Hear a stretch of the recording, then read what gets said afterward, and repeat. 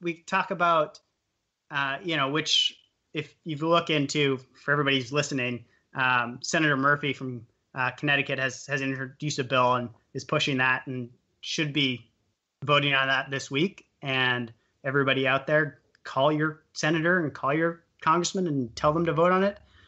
I live in D.C., so I don't have a senator, but you know, that's a whole different story. Yeah, yeah, different podcast. But we'll, I we'll get there. the uh, the thing is, is bogging down into policy ends up being being a distraction if we talk different points on it. The bottom line is that no matter what happens, it's policy is not written in public opinion. Public opinion drives what policy is going to be.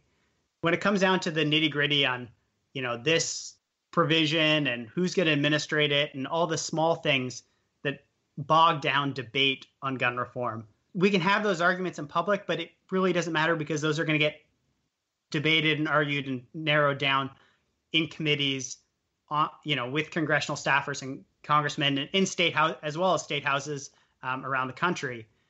I think the bigger push needs to be is that you know it's a long-standing statement that culture drives politics, and we as a country need to say enough is enough and drive the culture to say if the culture around the country, whether it's the Midwest or it's Parkland, Florida, or Littleton, Colorado, if the culture drives enough momentum to say, look, we're done with this. We won't, t- we've had enough.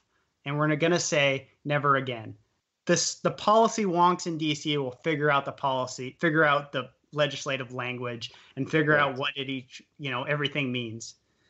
But we have to drive the culture to push and say that we need reform. And we don't need to be bogged down into legislative language, which that's that's what that's what the the far right, the NRA, they want to get bogged down in minute policy debates because then they can use the the you know mass amount of expertise and lobbying and money they put into it to find because the layman is you know myself or Warx or you guys we don't have we haven't spent our entire lives focusing on one issue so it's easy to get distracted by that. Mm-hmm. The biggest point I can say, and I think Warx is onto it, is say we need to drive that culture, drive the culture in this country to say enough is enough. It's what happened. You know, it's what changed gay rights in this country. It's what changed, you know, civil rights in this country. It's the legislation will follow if what the country is feeling and powerfully, you know, animated about. I agree. Yeah, I think it's going to be hard. Uh, is what wins the fight. Uh, just like you were saying, you know, with the civil rights movement, with uh, the victories that we had recently with uh, marriage equality. Uh, but I, I, for me, I think that what stands out to me as something that is you know relatable is the Vietnam War, where we, uh, as a, as a culture, just said no. You know, once it was clear that how wrong that war was once you start seeing the pictures. The napalm girl, you know, the little girl running mm-hmm. naked towards the journalists uh, with you know horrible burns across of her uh, her body. Uh, I, I would like to not have that be what we need. You know, uh, what, what I want to avoid is a, a future where we see a, a school shooting broadcast live on Periscope uh, and you know, with this last one, we almost had it. Uh, I don't know if you all saw, it, but there were people uh, conducting, you know, basically interviews while that shooting was going on, uh, talking to students in the mm-hmm. school. And I'm I'm not fearful that that will happen. I I know uh, that if this continues down the road, that we will get a, a live broadcast school shooting, and we'll actually see in real time uh, children being murdered, children lying on the ground dying, and there's just there's no reason for it to get to that point because I don't believe that there's anyone who has a human heart in their chest who can sit down and honestly say to me, we should allow children to be murdered uh, because it's inconvenient for us to stop them from being murdered. That's that's not an argument that anyone can make. It, it's not an argument that anyone can win. So, what should we do? You know, if the if heart is what's going to win this, and I I think you're making a good point with that. If we're calling our senators and representatives, what should we be asking for? Should we focus on that? Should we be marching? Should we be focusing on voting? I think we absolutely like, should be marching. I think that it needs to be uh, public. I think that it needs to be uh, more than tweets. You know, this can't just be an online movement. There are marches coming up across the mm-hmm. country. There are school walkouts. Uh, I'll be at the march in DC on March 24th. This has to be public and visible so that lawmakers know that they will not be let off the hook for this. Uh, that if they choose to continue to do nothing, that they're going to be voted out.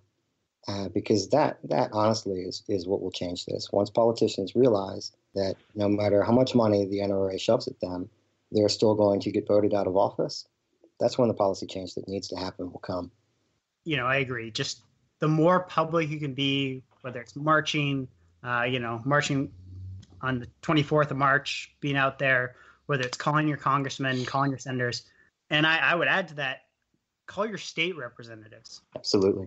As somebody who works on Capitol Hill, a congressional office they well they do listen to calls. They get a lot of them. Now I'm going to go on a limb here and say average state representative from Indiana, his office doesn't get a lot of calls. But if that office gets a lot of, suddenly gets a lot of calls about gun reform, they're going to pay attention. And you start to change the laws in the state at the state level and that and that it helps. And the more, you know, you just build momentum. You know, as we talked, you know, we talked about earlier, civil rights, whether it's for racial equality or for gay rights, whatever. They happened at a smaller, at a local level and a state level before they happened at a national level. I'm gonna, I'm not gonna say don't call your congressmen or senators. I'm all about that, but be involved at the local level and pressure your state representatives. And if your state representatives aren't listening, run for office.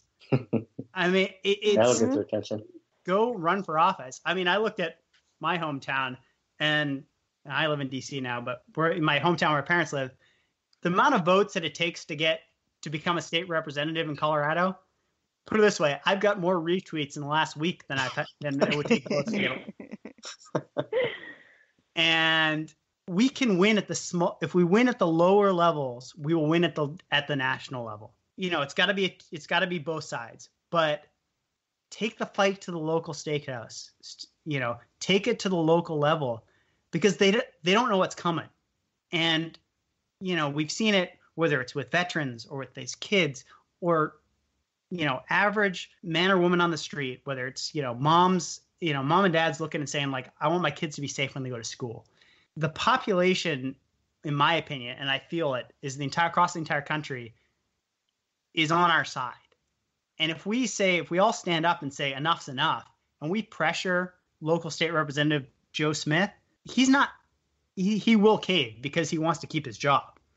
And if he doesn't and if he doesn't want to keep his job that much, yeah. don't let him. and, and, I think that's what it's got to happen. The thing I, I I I need it, you know, I can't to put a little real, realism into it is it's not going to happen overnight. We have to know that, just like with every other major issue in this country's history, it doesn't happen overnight. But uh, as long as we keep that sustained pressure, you know, we just don't let up we'll change this country and we'll make it better. And and, and by make it better, we're going to save lives. And, and I mean, what more? What more? What more purpose is there as a human being to do? I agree. I would especially like to encourage everyone in Indiana to call their state reps because I live in Chicago and all of our guns come from Indiana. So mm-hmm. Illinois actually is in the process of passing better laws, more, you know, stricter gun laws. And that's fantastic. And I'm very grateful for that. But it only does so much good because there is no wall between me and Indiana.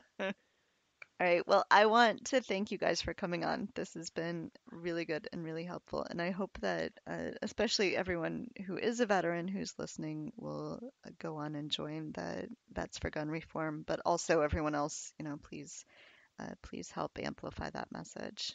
yeah, please. You know, really and, uh, yes, it is. You know, vets for gun reform. But you know, a conversation that we are having uh, probably last night was that you know who who is this movement for? You know, can people who weren't veterans support us? The answer is absolutely. I think that one of the things that I really enjoy about this movement is that it gives us the opportunity to bridge the gulf that exists between uh, the military population and the civilian population. Mm-hmm. Because veterans are civilians, you know, and I think that's something that we forget. uh, with the amount of energy and time we put into thanking veterans for their service, is, is we forget that all of us are American citizens first. Uh, so yes, absolutely. You know, this movement is has been started by veterans, but it is for this country. Uh, so please, you know, come march with us, come uh, come help us, come amplify this message, because we're not doing it for ourselves. We're here to help this country be better, be safer, uh, by lending the experiences that we have to this fight. You know, uh, I think in particular, one of the most disingenuous things that the NRA does uh, is try to make this an issue over the details uh, and specifics of how guns work. And they can't do that to us. You know, you can't discredit us by saying, Daniel, you don't know what you're talking about when it comes to uh, an M4. Uh, he, yes, he absolutely does. Okay, it was his entire job. His life depended on knowing that weapon. So they can't discredit us in the same way that they can discredit other people. And I think that that makes us more powerful together to affect this change.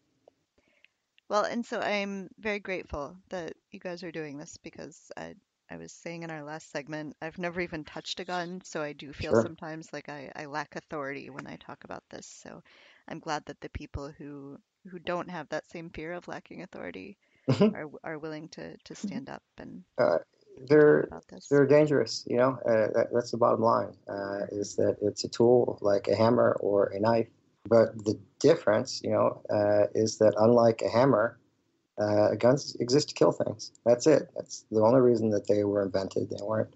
Uh, you know, they weren't invented for target practice. They weren't invented for anything except to kill.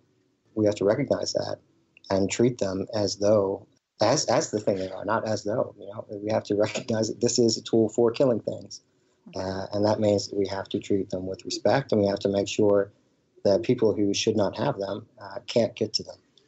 And I think, uh, you know, not even talking about you know criminals uh, or terrorists or you know all these other scary bogeymen that the NRA throw at us.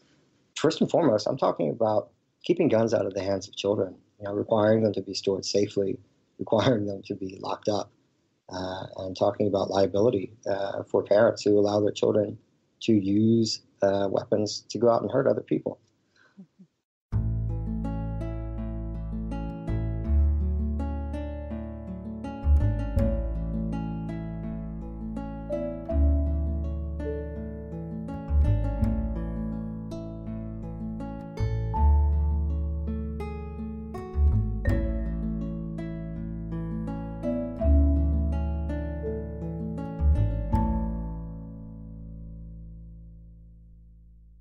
So, in this segment, we have with us someone who's going to go by his Twitter handle, which is Red T Raccoon. Hello, Red.